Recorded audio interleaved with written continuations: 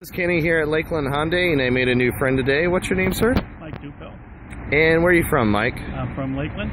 Awesome. What brought you in today? Uh, needed to buy a new car and uh, came right to the Hyundai place. Fantastic. Did you find something you like? I did. Veloster. Awesome. Very good. How would you rate your experience today? Excellent. Excellent. Would you recommend your friends and family to come here to Lakeland Hyundai to buy a car? Absolutely. All right. Well, we appreciate your business, and we hope you enjoy your new car. I will. Thank you very much. Thank you.